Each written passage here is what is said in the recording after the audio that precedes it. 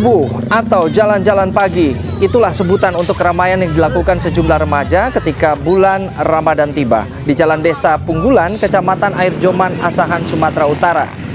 Tapi kegiatan ini justru meresahkan warga dan pengguna jalan lain. Seperti pada Rabu dini hari, tak hanya berkerumun, mereka pun kerap mengganggu pengendara yang melintas dengan melemparkan petasan.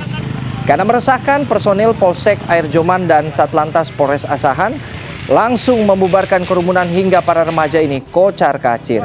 Untuk memberi efek jerah selain memberi sanksi tilang kepada 18 remaja, petugas juga akan memanggil orang tua dan diminta membuat surat pernyataan.